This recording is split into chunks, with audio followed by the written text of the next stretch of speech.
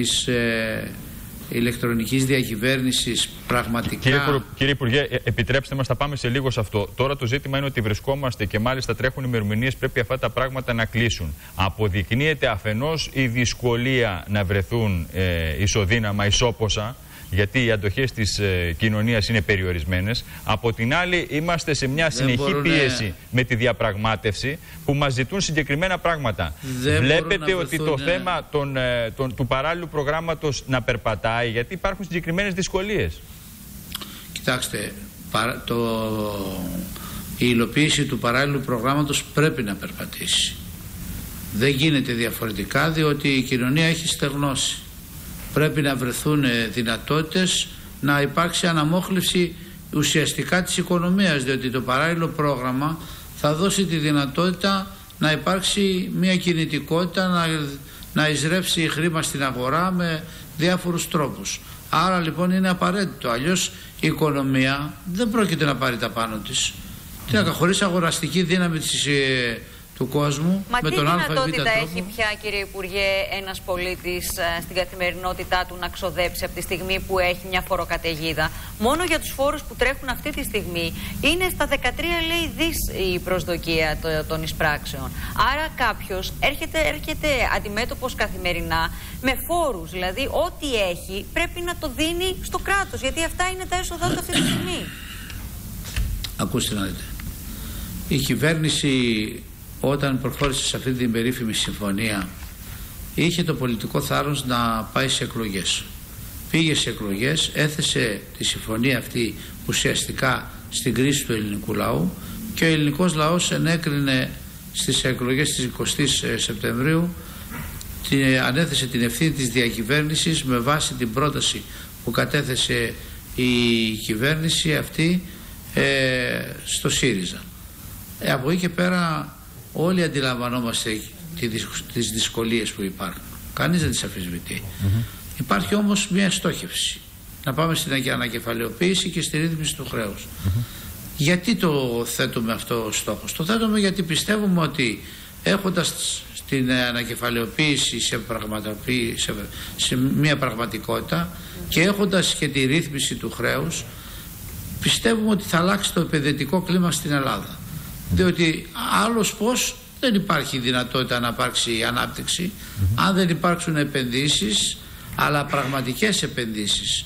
Όχι επενδύσεις της αρπακτής επενδύσεις που πραγματικά θα συμβάνουν στην πραγματική ανάπτυξη και όχι στην ανεργιογόνα ανάπτυξη γιατί μπορεί να έχουμε όπως είχαμε όλα αυτά τα χρόνια ανεργιογόνα ανάπτυξη. Να λέμε ότι έχουμε κάποιους, κάποιες επιτυχίες αλλά στην πραγματικότητα να μην απηχούν αυτό που πρέπει να ζήσει η κοινωνία, δηλαδή να αγγίζει την κοινωνία αυτή η πραγματική ανάπτυξη. Τώρα, κύριε Κουρουπλή, εσείς κάνατε και κάποιες δηλώσεις σχετικά με το ασφαλιστικό και τις συντάξεις. Επειδή γίνεται πολλής λόγος, δεν ξέρουμε ακόμη. Είναι όλα σε προτάσεις, ιδέες ε, και δηλώσεις, οι οποίες δημιουργούν μεγάλη ανησυχία. Εσείς κάνατε τη δήλωση ότι θα βάζετε ένα όριο στα 1.300 με 1.500 ευρώ σχετικά με τις μειώσεις των συντάξεων. Ακούστε, ακούστε, ακούστε.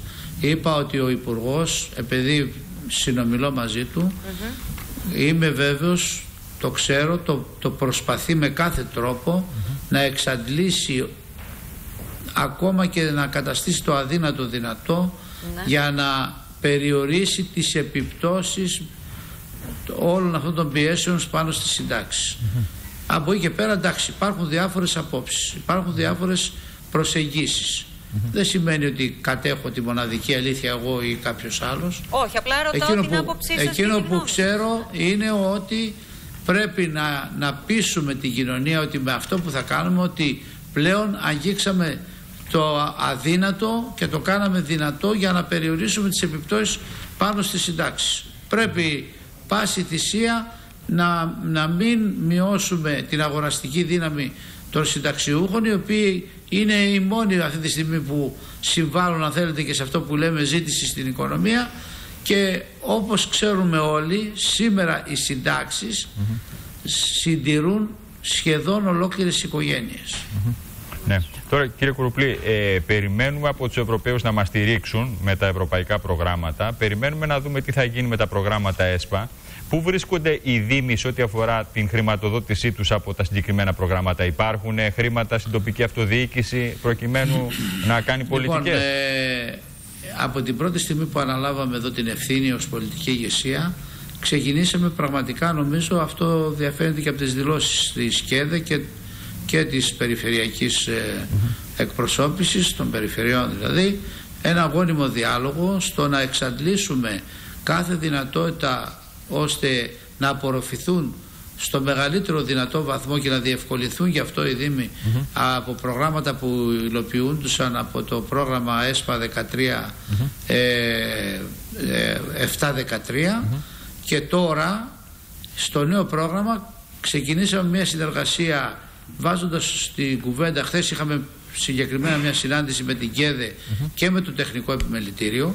Γιατί πρέπει να σας πω υπάρχει μια πραγματικότητα πίσω από την σκιά του βουνού που λέμε διότι δεν έχει αναδειχθεί ότι η υλοποίηση αυτών των προγραμμάτων περιορίζεται στους Δήμους που έχουν τη δυνατότητα να κάνουν μελέτες, έχουν τεχνικές υπηρεσίες, έχουν οργανωμένες, οργανωμένες υπηρεσίες. Ναι. Οι μικροί Δήμοι λοιπόν, ενώ έχουν δικαίωμα, ουσιαστικά το κράτος δεν, μπορεί, δεν τους παρήχει τη δυνατότητα να μπουν σε προγράμματα. Ναι, επομένως τι θα γίνει λοιπόν με αυτούς τους Δήμους; Καλέσαμε λοιπόν και το τεχνικό επιμελητήριο ναι σε συνεργασία και με την ΚΕΔΕ να μπορέσουμε δια του τεχνικού επιμελητηρίου όλοι αυτοί οι μικροί δήμοι που έχουν υποστελέχωση να συνεργαστούν να βοηθήσει το τεχνικό επιμελητήριο στην κατάρτιση μελετών για να μπορέσουν πραγματικά να ενταχθούν σε, ε, σε ευρωπαϊκά προγράμματα, να αξιοποιήσουν δηλαδή και οι μικροί δήμοι, οι ορεινοί δήμοι, τα νησιά, οι απομακρυσμένοι δήμοι αυτή τη δυνατότητα που παρέχουν τα ευρωπαϊκά προγράμματα. Νομίζω ότι αυτό θα είναι μια ουσιαστική, πραγματικά ουσιαστική παρέμβαση στο να μην διευρύνονται οι ανισότητες οι διαδημοτικές. Διότι αυτή, αυτό που λέμε ανισότητα στη χώρα, η έλλειψη πραγματικής ισοπολιτείας υλοποιείται και δια αυτής της διαδικασίας. Είναι λοιπόν μια προσπάθεια που κάνει το Υπουργείο Εσωτερικών γόνιμη και δημιουργική σε συνεργασία και με την ΚΕΔΕ και με το Τεχνικό Επιμελητήριο. Τώρα, κύριε Υπουργέ, να ρωτήσω κάτι πάνω στα έσοδα των Δήμων, το οποίο διαβάζω εδώ το τελευταίο διάστημα ότι υπάρχει μια προσφυγή από Δήμους Ραφίνας Πικερμίου, Μαρκόπουλους, Πάτων, Αρτέμιδος σχετικά με τα τέλη και τους φόρους που πρέπει να εισπράττουν από το αεροδρόμιο ας πούμε, του Ελευθέρω Βενιζέλος. Τα οποία δεν τα εισπράττουν. Γιατί αυτό, πού έχει μείνει, Διότι όταν δεν μιλάμε για έσοδα. Ότι... Κοιτάξτε, αυτό είναι ένα γενικότερο θέμα. Δεν νομίζω ότι αφορά αυτή τη στιγμή το Υπουργείο. Το Υπουργείο και με την τροπολογία που κατέθεσε ε, έχει εξαιρέσει τις συμβάσεις παραχώρησης που έχουν γίνει μέχρι σήμερα από, την, από τις διατάξεις του άρθρου 13 υπάρχει μια ερμηνευτική εγκύκλειος άρα δεν υφίσταται ζήτημα ε, να μην μπορούν οι, οι Δήμοι να διεκδικήσουν Συγγνώμη, γιατί εγώ διαβάζω ότι από το 2008 δεν έχει υπογραφεί η προβλεπόμενη υπουργική απόφαση. Ενώ αυτό που συζητάμε υπάρχει μέσα στη συμφωνία και τη σύμβαση ανάμεσα στο αεροδρόμιο και το, και το Σε κράτος. μένα οι Δήμοι δεν έφεραν, δεν έφεραν κανένα θέμα που εκρεμεί και αφορά την μη ίσπραξη των τελών. Ότι, οποιοδήποτε θέμα. Στο Συμβούλιο της Επικρατείας έχουν προσφύγει. Κοιτάξτε, εκεί είναι ένα άλλο θέμα. Είναι καλύτερα να μην το συζητήσουμε αυτή τη στιγμή. Δεν ωφελεί, ειλικρινά σας το λέω. Γιατί φοβάμαι ότι οι αποφάσεις δεν θα είναι και. αν έχω καλή πληροφόρηση. Λοιπόν, δεν, δεν, δεν θέλω να αναφερθώ στις αποφάσεις του Συμβουλίου Επικρατείας αυτή τη στιγμή. Για, για πέστε μας τώρα για το Ταμείο Στήριξης ε, και Οικονομικής Ενίσχυσης των Δήμων. Πώς θα λειτουργεί και από την άλλη, πού νομίζετε ότι υπάρχουν οι μεγαλύτερες ανάγκες στην τοπική αυτοδιοίκηση, στους Δήμους, στις περιφέρειες, σε τι προγράμματα; Αυτό το Ταμείο αφορά την απουσία χρηματοδότησης τοπικής αυτοδιοίκησης εν ώψη του προσφυγικού. Εμείς ζητούμε λοιπόν ότι η Ευρωπαϊκή Επιτροπή θα πρέπει να συστήσει ένα ταμείο που να στηρίζει τη, τις, τους φορείς τοπικής αυτοδιοίκησης και τις περιφέρειες και στην Ελλάδα και σε όλες τις χώρες επαφής ώστε ε, οι δαπάνες όλων αυτών των φορέων Σήμερα σας λέω εγώ ότι έχω αιτήματα από πάρα πολλούς Δήμους ναι. για οικονομική ενίσχυση διότι τα χρήματα που δαπάνησαν ήταν να δαπανηθούν για έκτακτες ανάγκες που αφορούσαν κατοίκους των, των Δήμων και όχι ένα πελώριο ε, κύμα προσφυγικό που Από ό,τι διάβασα σήμερα το πρωί, μόνο μέσα στον Οκτώβριο α, περίπου 200 και πλέον χιλιάδες άνθρωποι μπήκαν στην Ελλάδα. Όλο το φορτίο τώρα, το προσφυγικό, το υφίσταται η Ελλάδα.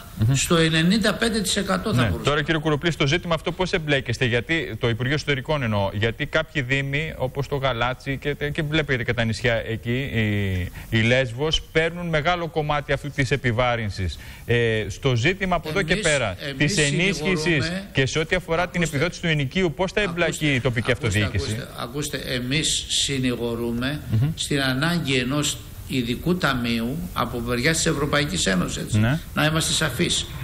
Δηλαδή πρέπει να, επειδή μας λένε ότι δεν υπάρχει τρόπος να χρηματοδοτηθεί η τοπική αυτοδιοίκηση, ναι. τους λέμε λοιπόν κάντε ένα ειδικό ταμείο, διότι η τοπική αυτοδιοίκηση σηκώνει ένα πολύ μεγάλο βάρος ναι. του προσφυγικού. Διότι έχει την ευθύνη της καθαριότητας, έχει την ευθύνη ε, πολλές φορές... Βεβαίως, βεβαίως, σίγουρα. Έχει πολλές... Πέστε μας όμως κύριε, κύριε Υπουργέ λίγο πιο συγκεκριμένα. Τώρα στο, σε αυτή την, την πρόταση που υπάρχει προκειμένου να υπάρχει επιδότηση ενοικίων θα εμπλακεί η τοπική αυτοδιοίκηση και πώς θα εμπλακεί; Ακούστε, ακόμα αυτό το θέμα δεν έχει αποσαφινιστεί mm -hmm. επακριβώς. Εμείς όμως εκείνο που οφείλουμε να, να πούμε είναι ότι επειδή εμπλέκεται εν της πράγμαση εμπλέκεται η, η τοπική αυτοδιοίκηση είτε ως δήμιο της περιφέρειας. Ε, θα πρέπει λοιπόν να υπάρξει στήριξη και επειδή το βάρος είναι πάρα πολύ μεγάλο δεν είναι, ούτε είναι περιοδικό να πούμε ότι ξέρετε ε, έγινε για μία φορά ή για δύο θα πρέπει να υπάρξει ένα ειδικό ταμείο που να στηρίζει τις ανάγκες της τοπικής αυτοδιοίκησης. Με τι πόρους όμως κύριε Υπουργέ. Από την Ευρωπαϊκή Ένωση. Το τονίζω και το ξανατονίζω. Μάλιστα. Ε, το, αυτό το αίτημα αφορά την Ευρωπαϊκή Ένωση. Δεν αφορά το Υπουργείο να πηγαίνουν δηλαδή κατευθείαν τα χρήματα στους Δήμους. Αυτό περιγράφουμε. Βεβαίως. βεβαίως. Ε, αυτό θα το βρούμε τον τρόπο. Δεν με, ε, να, μακάρι να πηγαίνουν και απευθείας στους Δήμους. Αλλά το ζήτημα είναι να υπάρχουν, να υπάρχουν συγκεκριμένοι πόροι που να αφορούν τις δαπάνες που, που, στις οποίες υφίσταται η τοπική αυτοδιοίκηση για το προσφυγικό. Έτσι είναι και είναι μεγάλη η δαπάνη αυτή σε κάποιες μπορούν, περιπτώσεις. Διάβαζα για το Δήμο μπορούν, Ελληνικού πόσο ακούστε, στοιχίζει κάθε μέρα δεν, αυτό που συζητάμε ότι είναι ακούστε, το στοιχειώδες να προσφέρεις δύο γεύματα και στέγη. Δεν μπορούν να σφυρίζουν αδιάφορα οι αρμόδιοι στην Ευρωπαϊκή Ένωση. Αυτό. Mm -hmm. Καθαρές εξηγήσεις για να Να ρωτήσω, κύριε Υπουργέ, κάτι τελευταίο που έχει να κάνει εδώ με τα με τα σχολιά τα δικά μας, έτσι, διότι εχθές είχαμε στους δρόμους ε, μαθητές και για τα κενά που υπάρχουν στα σχολεία, αλλά και πολλά άλλα πρακτικά προβλήματα, αλλά είναι πολύ ουσιώδη. Για παράδειγμα, το κομμάτι της θέρμανσης που περνάει μέσα από τα κονδύλια του Δήμου. Υπάρχουν σχολεία που είναι ε, ψυγεία. Δεν μπορούν και δεν είναι. Δεν, συζητάμε μόνο εδώ για μέσα στην Αθήνα, συζητάμε για την περιφέρεια. Κοιτάξτε, αυτή τη στιγμή το Υπουργείο δεν έχει τέτοια εικόνα. Ε, σε ό,τι αφορά τα κενά, όπως ξέρετε, ε, εχθές υπογράψαμε άλλη μια απόφαση για 2.000 περίπου αναπληρωτές και ορομιστίους. Ναι. Νομίζω ότι οι ανάγκες των σχολείων σε, σε παρουσία εκπαιδευτικών έχουν καλυφθεί. Τώρα, αυτό Καλά, ακόμη μιλάνε για 6.000 κενά, κύριε Υπουργέ, Καλά, μου κοιτάξτε, ο καθένας μπορεί να μιλάει για ό,τι θέλει. Εγώ σας λέω ότι δεν υπάρχει τέτοιο φύση. Μετά και την τελευταία απόφαση χθες που υπέγραψε ο κ. Μπερναδάκη, νομίζω ότι δεν υφίσταται τέτοιο ζήτημα. Τώρα, σε ό,τι αφορά τη θέρμαση, ναι. εμείς σαν Υπουργείο δεν έχουμε τέτοια ενημέρωση. Ε, αυτές τις μέρες προχωρούμε στην ε, κάλυψη και χρηματοδότηση των Δήμων για μια σειρά ζητήματα όπως είναι τα προνοιακά επιδόματα. Την Παρασκευή νομίζω θα υπάρξει αυτή η εκταμείευση 235 εκατομμυρίων ευρώ θα αφορά τα επιδόματα, θα αφορά το πρόγραμμα βοήθειας στο σπίτι και μια σειρά άλλων αναγκών. Άρα δηλαδή, αν δεν έχετε ενημέρωση, δεν υπάρχει και θέμα προσυζήτηση. Γιατί εχθές τα ε, παιδιά αν, λέγανε στο ρεπορτάζ. Έχει... Μισό λεπτό να το Κοιτάξτε. ολοκληρώσω. Ότι οι γονείς τους βάζουν ρεφενέ λεφτά για να μπει πετρέλαιο Κοιτάξτε, στο σχολείο. Καταρχάς, το σχολείο ακόμα δεν μπήκε. Δεν, δεν νομίζω πρόκειψε ε, ζήτημα θέρμανσης. Mm -hmm. Αλλά εμείς, σαν Υπουργείο, ναι. δεν έχουμε αυτή τη στιγμή τέτοια εικόνα. Mm Μπορεί αύριο να έχουμε. Μάλιστα. Πετε μας τώρα πότε έχετε, έχετε αν πει... Προκύψει, αν προκύψει τέτοιο θέμα, το Υπουργείο θα το αντιμετωπίσει αποφασιστικά και αποτελεσματικά. Μάλιστα. Έχετε πει για την κάρτα του πολίτη. Πότε θα είναι έτοιμη και πότε θα ισχύσει η κάρτα του πολίτη και πώς θα συμβάλλει; Ξεκινήσαμε μια προσπάθεια η οποία πρέπει να σας πω ότι δεν είναι τωρινή. Η προσπάθεια έχει ξεκινήσει εδώ και 10 χρόνια. Και θα σας πω και κάτι το οποίο πρέπει να το λάβετε πολύ σοβαρά υπόψη σας. Δύο ευρωπαϊκά προγράμματα από τα οποία εξοδεύτηκαν πάνω από 7 δισεκατομμύρια ευρώ για την ηλεκτρονική διακυβέρνηση και σήμερα πρέπει να ομολογήσουμε ότι είμαστε ακόμα πάρα πολύ πίσω. Γιατί; Γιατί εξαγγείλαμε κάρτες χωρίς να έχουμε κάνει αυτό που είπα στη Βουλή να προηγηθεί η διαλειτουργικότητα του συστήματος. Δηλαδή να συνομιλούν, ας μου επιτραπεί η έκφραση, οι βάσεις δεδομένων ναι. όλων των Υπουργείων. Δηλαδή αυτό που έχουμε πετύχει σήμερα να μπορείς να πας στην αστυνομία και να πάρεις να βγάλεις μια ταυτότητα με δύο φωτογραφίες χωρίς να κάνεις καμιά άλλη ενέργεια πρέπει να το πετύχουμε να πετύχουμε αυτή τη συνεργασία των βάσεων δεδομένων όπως είναι του Υπουργείου ε, Προστασίας του Πολίτη με το δημοτολόγιο να γίνει και με το διαβατήριο να γίνει και με, το, με το, τους φορείς του ΆΜΚΑ να γίνει και με το αφημί. Αυτά τα τέσσερα δημοτολόγιο, άμκα, αφημί και αστυνομική ταυτότητα είναι οι μεγάλες βάσεις δεδομένων. Από τη στιγμή που θα γίνουν αυτοί, αυτές οι βάσεις ε, θα, θα συνομιλήσουν, θα, θα διαλειτουργήσουν. Αυτομάτως θα μπορούμε να, να επεκτείνουμε αυτή τη διαλειτουργικότητα. Σας λέω ένα παράδειγμα γιατί λέγατε για ισοδύναμα. Ναι. με τα πρωτοδικεία. Ξέρετε πόσα χρήματα χάνει το κράτος από την έλλειψη μιας τέτοιας δυνατότητας; Διότι δεν εισπράττονται όλες αυτές οι ποινές που επιβάλλονται στα δικαστήρια και λιμνάζουν στις, στα υπόγεια των ε, πρωτοδικείων. Σας λέω λοιπόν ότι ε, χρειαζόμαστε το χρόνο πάνω από 500.000 πιστοποιητικά σε χαρτί για τα σχολεία. Αυτά όλα θα μπορέσουν μέσα σε ένα χρόνο να ε, αν δουλέψουμε σωστά όπως έχουμε ξεκινήσει να πετύχουμε τη διαλειτουργικότητα όλων αυτών των συστημάτων. Μόλις αυτό μπει σε μία βάση, είναι βέβαιο ότι μπορούμε να προχωρήσουμε στην κάρτα του πολίτη. Για να λέμε σοβαρά πράγματα, να μην λέμε εύκολες κουβέντες. Λοιπόν, αυτό μπορεί να γίνει. Α, πολιτική βούληση δεν υπήρχε, γιατί κάθε φορά κάτι προέκυπτε γιατί ο καθένας ήθελε να έχει το μαγαζί το δικό του, το διαχειριστικό μέγεθος το δικό του, εγώ να έχω το δημοτολόγιο, ο άλλος να έχει το, το αφημί, ο άλλος να έχει το άμκα. Ναι. Ο άλλος Είναι ανάγκη λοιπόν να γίνει μια διασύνδεση όπως λέτε. Διασύνδεση, να συνομιλούν. Δυστυχώς ξοδεύτηκαν δισεκατομμύρια ναι. χρήματα και τα συστήματα δεν συνομιλούν ακόμα. Και πόσο γρήγορα, κύριε Υπουργέ, κλείνοντας, θα γίνει αυτό; Εγώ πιστεύω ότι με, την, με τον τρόπο που έχουμε αποφασίσει σας το λέω μέσα σε 4-5 μήνες ναι. θα πρέπει να έχουμε προχωρήσει αποφασιστικά στη διαλειτουργικότητα των βάσεων δεδομένων. Μάλιστα. Δεν υπάρχει, κα, κανένας λόγος, δεν υπάρχει κανένας λόγος καθυστέρησης και να σας πω και κάτι. Συνδέω την παρουσία μου εδώ με την απόφαση να προχωρήσει αυτό το σύστημα διότι έτσι θα κάνουμε τη βαθιά μεταρρύθμιση στο σύστημα της δημόσιας ε, διοίκησης θα μπορέσουμε να περιορίσουμε τα φαινόμενα της φοροδιαφυγής, της φοροκλοπής. Θα μπορούσε η χώρα να μην είχε υποστεί και δεν είναι μεγάλη κουβέντα αυτές τις τραγικές συνέπειες των μνημονίων. Αν εδώ και 10 χρόνια που ξεκίνησε αυτή η προσπάθεια θα είχε ολοκληρωθεί όταν όταν είχαν τη δυνατότητα της τεχνολογίας για να το κάνουν. Μάλιστα. Κύριε Κοροπλή, κλείνοντας να σας πάω σε κάτι άλλο για να κλείσουμε. Ε, θέλω να μου σχολιάσετε μια δήλωση που έκανε χθες ο Υπουργός Παιδείας, ο κ. Νίκος Φίλης, σε συνέντευξή του χθες στο ΣΤΑΡ για τη γενοκτονία των ποντίων. Ξέρω ότι έχετε ευαισθησία. Είπε ότι ναι, αναγνωρίζουμε ως κράτος τη γενοκτονία των ποντίων, αλλά ο ίδιος δεν συμφωνεί, όπως είπε, γιατί δεν πληρούνται τα επιστημονικά κριτήρια για τον χαρακτηρισμό αυτών. Εσείς τι λέτε; Εγώ διαφωνώ με τον φίλο μου τον Νίκο. Είναι μια προσωπική του άποψη.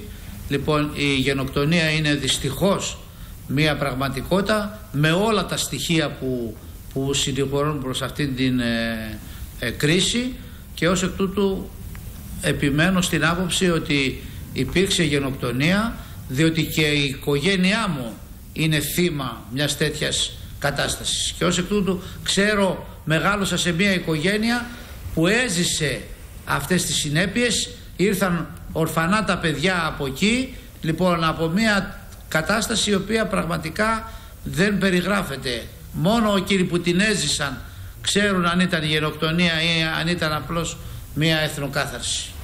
Ευχαριστούμε πολύ, κύριε, κύριε Υπουργέ, για την καλημέρα μας. Καλημέρα. Τώρα, αυτό που ρωτάς, πηγαίνοντας να συναντήσουμε και την Ανδριάννα Μαγκανιά, θυμάσαι ότι είχε ξεκινήσει κιόλας και με τις αισθάσει της κυρίας Ρεπούση; Ήταν άλλο το ζήτημα εκείνο. Όχι, Εκείνο- για το θέμα του αν είναι γενοκτονία ή όχι, ή δεν ναι. το θυμάμαι καλά. Ναι, είχε όχι. Η κυρία Προχωράω και με Ρεπούση την όφη, είχε δεν πει, η είναι. κυρία Ρεπούση είχε πει για τη Ναι. Σμύρνη και είχε, πει, είχε αναφερθεί σε όλη αυτή τη, ε, το, την κατάσταση που είχε δημιουργηθεί στη Σμύρνη που ότι ήταν συνοστισμός στο λιμάνι. Αν είναι συνοστισμός στο λιμάνι. Αλλά είχε ξανατεθεί το θέμα της γενοκτονίας των ποντίων, ή όχι; Όχι, ήταν το ζήτημα της Σμύρνη. Ωραία. Λοιπόν, Ανδριάννα Μαγκανιά, κοντά μας, για ξεκίνησέ μας. Μήπως θα μας ξεκινήσεις και θα μας πας κάπως διαφορετικά; Ε, σε άλλες ιστορίες, έτσι πιο μεγάλης λάμψης. Θα ξεκινήσουμε με την Ατζελίνα Τζολί και τον Brad Pitt αυτή τη φορά και την κοινή του συνέντευξη, μια σπάνια συνέντευξη λοιπόν. Ναι. Μίλησαν για τη νέα τους ταινία By the Sea. Η Ατζελίνα έχει γράψει το σενάριο, είναι παραγωγός, πρωταγωνιστούν και οι δύο. Όμως εκείνο που προκάλεσε ιδιαίτερο ενδιαφέρον ήταν οι αναφορές στην προσωπική τους ζωή.